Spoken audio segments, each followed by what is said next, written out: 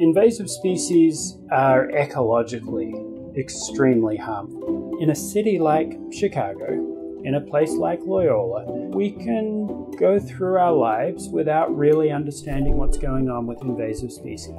So, my research covers uh, everything from the introduction of species and what motivates people to own different types of species. It runs everywhere from there to the how people keep them if and when people release them, and then to the impacts of those species that get released. So I've worked on that for terrestrial species, birds, and plants. Uh, at the moment, I'm working on it mostly with crayfish. So why should people care? You don't get large numbers of invasive crayfish without large impacts.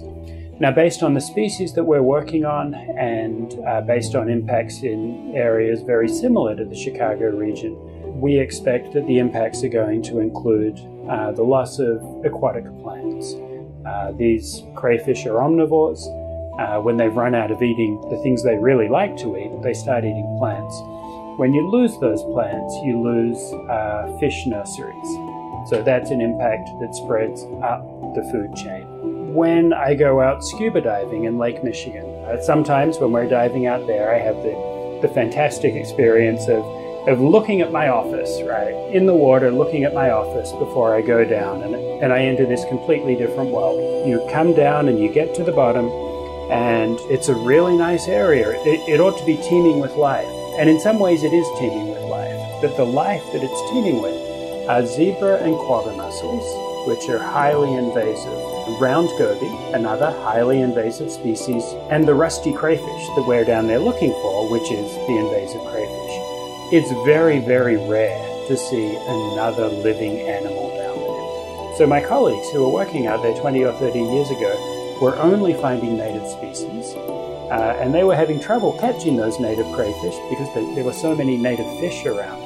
Those species of native crayfish are, are gone. We can't find them out there. Those species of native fish, we know that they're still in the lake, but we've never seen them. My research program has, has developed and grown and it's thrived in the time that I've been in, in SES. And it's done that, I think, partly because I've put in a lot of hard work. I think also that, that I've thrived because I've had an enormous amount of support. I've had support from the Office of Research Services, but most of all, I think I've had really good support from undergraduate and graduate students and from, and from colleagues within SES. So that as I'm developing a project, as I'm trying to figure out how the world works in, in sort of ecological terms, I've had a lot of very intelligent people around me. So being at SES has been a has been a fantastic place to build the research program that, that I have built over the last nine or ten years.